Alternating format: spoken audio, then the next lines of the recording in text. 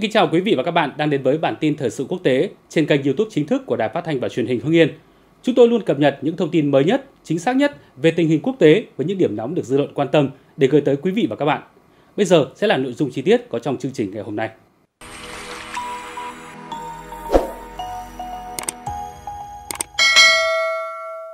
Ukraine rút quân về nước, Lực lượng Ukraine đang chuẩn bị rút khỏi vùng quốc của Nga sau hơn 2 tháng, một blogger quân sự Ukraine đã cho hay. Blogger quân sự Ukraine cho biết trên Telegram vào ngày 15 tháng 10 rằng các đơn vị của Ukraine ở vùng quốc đã nhận được lệnh chuẩn bị rút lui về lãnh thổ. Ngoài ra, blogger này không cung cấp thêm bất cứ chi tiết nào khác cũng như không nêu rõ thông tin bắt nguồn từ đâu. Chỉ huy lực lượng đặc biệt Akhmat của Nga, ông Abdi Alaudinov, ngày hôm qua cũng cho biết nhiều thành viên thuộc các đơn vị chiến đấu tinh nhuệ của Ukraine ở quốc đã đầu hàng vì muốn bảo toàn mạng sống. Ông bác bỏ cáo buộc của Kiev cho rằng Nga hành quyết 9 binh sĩ Ukraine, trong đó có các quân nhân vận hành máy bay không người lái. Theo vị tướng Nga, Ukraine cần tạo ra tin tức giả để ngăn cản quân đội của mình đầu hàng, vì nhiều binh sĩ của nước này công khai nói rằng họ không thể chiến đấu nữa. Ông nói thêm, bất chấp những nỗ lực này, binh lính Ukraine thường quyết định đầu hàng, Điều đáng nói là các đơn vị mà họ coi là tinh nhuệ và khó bị tấn công nhất cũng bắt đầu dần dần có xu hướng đầu hàng vì muốn sống sót. Ông Alaudinov cho biết. Ông Alaudinov cũng nhấn mạnh thêm, Nga sẵn sàng thang ngay cả những người phục vụ trong tiểu đoàn Adia hoặc là các đơn vị Azov của Ukraine nếu họ hạ vũ khí. Ukraine hiện chưa bình luận về thông tin trên. Ukraine đã mở chiến dịch tấn công vào vùng biên giới quốc của Nga từ đầu tháng 8 bất chấp nguồn nhân lực và trang thiết bị hạn chế. Sau khi tiến nhanh và giành quyền kiểm soát khoảng 1.300 km vuông lãnh thổ ở quốc trong vòng 2 tuần đầu, chiến dịch tấn công của Ukraine bắt đầu chững lại.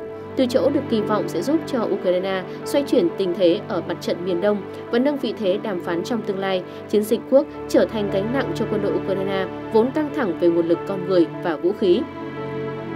Các nhà phân tích tuần qua dự đoán Ukraine có thể chỉ duy trì quyền kiểm soát các khu vực ở lãnh thổ quốc thêm vài tuần hoặc là vài tháng tới. Nga đã bắt đầu các cuộc phản công để giành lại lãnh thổ quốc trong khi tiếp tục đà tiến công ở mặt trận miền đông Ukraine. Hôm 14 tháng 10 vừa qua, đánh dấu 5 ngày liên tiếp trong đợt phản công mới nhất của họ. Theo kênh Telegram tình báo Deeptech của Ukraine, Đến nay, Nga đã giành lại hơn 200 km vuông. Trong khi đó, chỉ huy lực lượng đặc biệt Akhmat của Nga, ông Alaudinov nói rằng Moscow đã giành lại khoảng một nửa vùng đất do Ukraine kiểm soát ở quốc.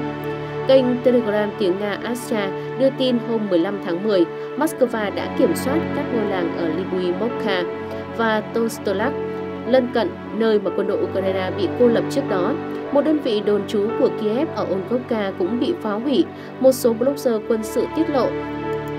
Nga cũng giành được phía đông nam trung tâm hành chính Suza, nơi đang bị Ukraine chiếm giữ.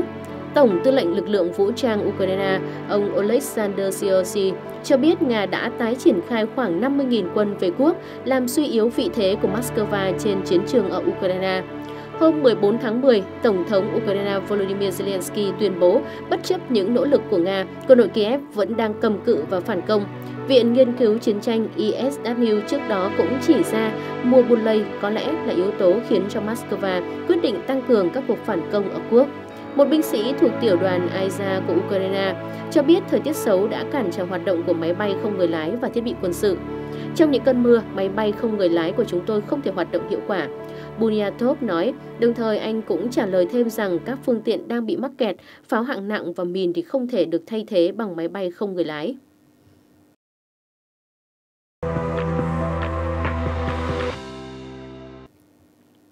Nga liên tiếp đánh bật các lực lượng của Ukraine tại quốc.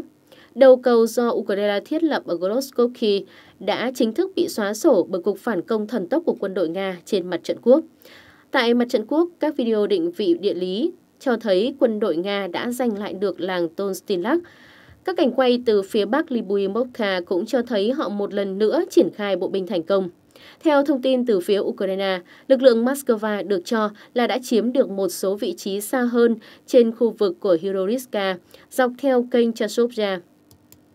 Các cảnh quay xa hơn về phía nam cũng cho thấy quân đội Nga vượt qua kênh đảo. Các video định vị tiếp theo tại Pokrovka cho thấy quân đội Nga đã chiếm được các vị trí xa hơn ở Lysivka. Họ cũng đang tấn công tại phía bắc Selidovo. Cùng lúc đó, một nhà quan sát người Ukraine tuyên bố rằng quân đội Nga đang tiến từ phía nam về phía Sinev, chỉ cách ngôi làng 1 km.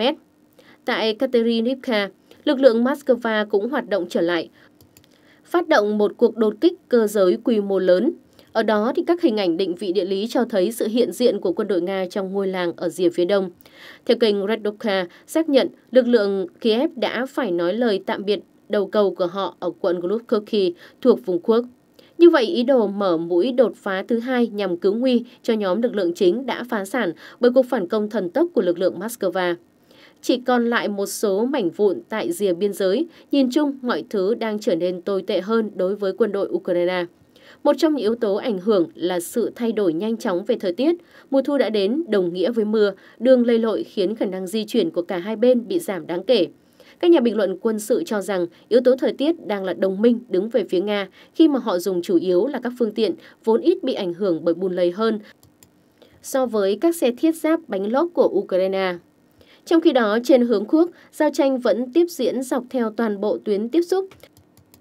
Tại khu vực Loviput thuộc quận Gluskover, gần biên giới, một xe bọc thép chở quân Striker do Mỹ sản xuất khác đã bị UAV tấn công tiêu diệt. Tại quận Korenovo, các trận chiến tại khu vực Libumovska, còn tại quận Suza cũng có các cuộc đụng độ gần Tonstilak, cũng như tại làng Novoivanovska lân cận. Ở vùng Sumi, máy bay Nga tiếp tục oanh kích các mục tiêu cũng như các cơ sở năng lượng đối phương trong khu vực. Nga bất ngờ gặt hái kết quả tại Vremivka và Chasovia. Moscow đã thực hiện một cuộc tấn công tên lửa khác vào cơ sở hạ tầng cảng đối phương tại Odessa, gây hư hại cho một số tàu container. Theo hướng Slobozhansky, Kharkov, quân đội Nga đang đột phá vào các vị trí Ukraine trên khu vực biên giới phía nam của Zuzalivka. Về phía Vrymivka, quân đội Nga tiếp tục phát huy thành quả từ những ngày trước, đánh bật đối phương khỏi một số vị trí phía bắc của Levitne. Tại Bakhmut, Astomot, lực lượng Moscow trong cuộc tấn công vào các vị trí phía tây Grani đã chiếm được một vị trí tại phía nam Chasovia. Quân đội Nga tiến vào ba nơi gần Chasovia nhằm đánh sập thành phố trong thế gọng kìm. Những thành công của quân đội Nga cũng được các nhà phân tích quân sự Ukraine thuộc kênh Deep State ghi nhận Bên cạnh đó, thì lực lượng Moscow tấn công phía nam thành phố, nơi họ rẽ vào một ngã ba trên con đường dẫn Chasovia từ Bakhmut, Konstantinovka. Về phía bắc, trong khu vực Kalidovka và Grigorivka, các mũi xung kích Nga cũng giành được thắng lợi. Các nguồn tin ủng hộ Moscow cũng đã xác nhận về các bước tiến mới này. Đánh giá theo sơ đồ của tấn công tại Chasovia, nơi tương đối yên tĩnh trong những tuần gần đây, quân đội Nga đang cố gắng phát triển hai bên sườn. Truyền thông ủng hộ Kiev đã nhận xét như vậy.